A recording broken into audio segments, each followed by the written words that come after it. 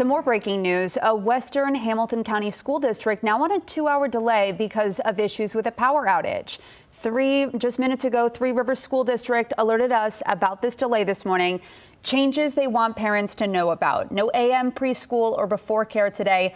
All other students will come in two hours later than usual. We are seeing around 191 customers without power in the region of that school district.